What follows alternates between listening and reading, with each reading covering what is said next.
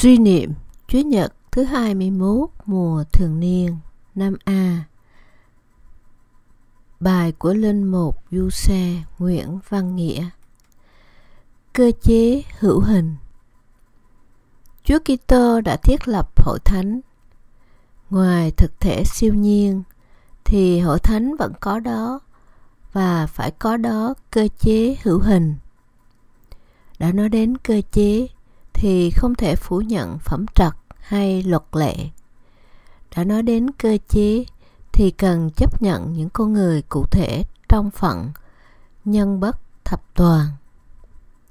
Thế mà Chúa Kitô như đồng hóa chính người với hội thánh người thiết lập với cả những con người của cơ chế ấy, đến nỗi người đã từng nói, ai nghe anh em là nghe thầy, ai đón tiếp anh em là đón tiếp chính thầy. Anh em cầm buộc điều gì thì trên trời cũng cầm buộc. Anh em tháo cỡ điều gì thì trên trời cũng tháo cởi Mát theo chương 16 câu 19 Sự hiện hữu của hội thánh là cần thiết như tất yếu.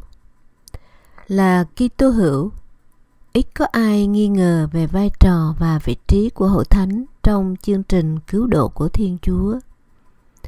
Tuy nhiên, sẽ mãi còn là vấn nạn khi đề cập đến tính hữu hình và cơ chế của hậu thánh đã là người trong thân phận có xác và hồn có tinh thần và thể chất có bên trong và bên ngoài và có tính xã hội thì cơ chế hữu hình là điều tất yếu cần thiết. Tính xác thể đòi hỏi, có cái hữu hình và tính xã hội đòi hỏi có các quy chế, luật lệ. Phẩm trật, quyền bính, luật lệ của hội thánh, cơ chế hiện hữu là do bởi yêu cầu của đoàn dân Thiên Chúa đang còn lự thứ.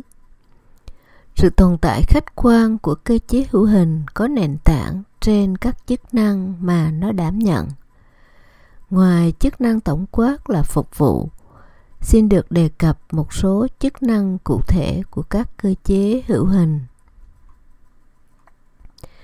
Chức năng chuyển giao thông tin hội thánh phẩm trật, cơ chế, đặc biệt qua các đấng bậc được trao quyền bính chính là phương thế Chúa dùng để bày tỏ thánh ý của người.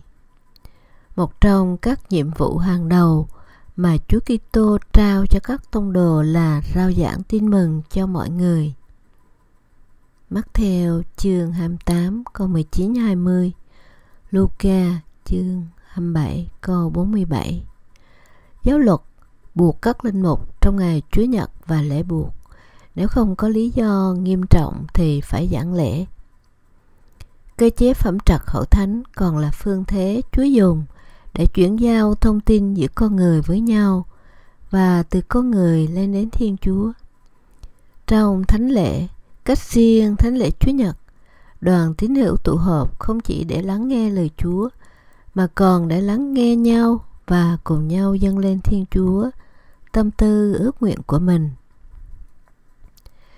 Điều này được thực hiện rõ nét trong phần Kinh nguyện Đại Đồng, lời nguyện giáo dân, chức năng trung gian của sự hiệp thông. Hội thánh hữu hình là nơi ta gặp gỡ nhau, là nơi tập thể này mở lòng với tập thể khác trong tình một cha trên trời Cơ chế hữu hình của hội thánh giúp đoàn tín hữu có điều kiện thuận lợi để thông phần sự sống Chúa ban tặng, đặc biệt qua các cử hành phụng vụ và sự chia sẻ trong đức ái.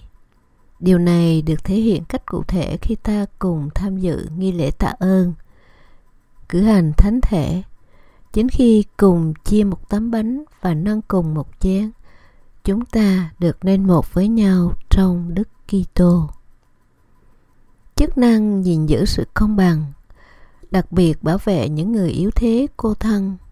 Các tổ chức, luật lệ có ra là nhằm nâng đỡ, gìn giữ chúng ta những lúc ta yếu đuối, buông xuôi.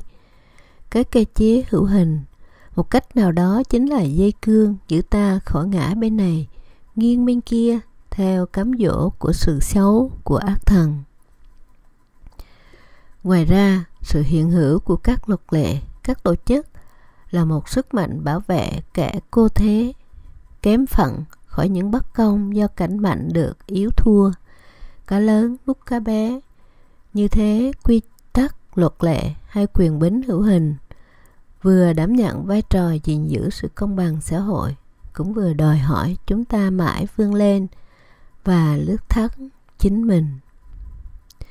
Tương tự như các cơ chế hữu hình khác trong xã hội, hội thánh phẩm trật với quyền bính luật lệ hiện hữu là tất yếu theo thánh ý của Thiên Chúa. Đặc biệt theo ý định minh nhiên của Đức Kitô, hội thánh hiện hữu là để tiếp tục công trình cứu độ của Đức Kitô cho đến tận cùng thời gian và không gian. Tuy nhiên, một điều chúng ta cần chân nhận với nhau rằng không phải một sớm một chiều mà cơ cấu tổ chức hữu hình của hội thánh có ngay và hình thành xem ra khá hoàn bị và có vẻ cồng kềnh như hiện nay. Nếu nhìn hậu thánh dưới chiều kích bí tích thì chúng ta cần xác nhận hậu thánh là một phương thế, một công cụ Chúa Kitô thiết lập. Chúa Kitô dùng để tiếp tục chương trình cứu độ của người. Đã là phương thế, là công cụ thì không phải cho chính nó nhưng là cho mục đích cần đạt tới đồng thời cần được chỉnh sửa và hoàn bị luôn mãi. Điều này được lịch sử minh chứng rõ nét. Cơ cấu tổ chức, quyền bính cũng như luật lệ và cách thiết vận hành của hội thánh hữu hình không bao giờ ở mãi một trạng thái nhất định. Nghĩa là chỉ có một cách, một kiểu duy nhất không thay đổi. Tuy nhiên, dù có thay đổi hay chỉnh sửa giáo luật, cơ cấu tổ chức, cách hành xử quyền bính thì đều nhắm để phụng sự Chúa và phục vụ con người cách hữu hiệu hơn.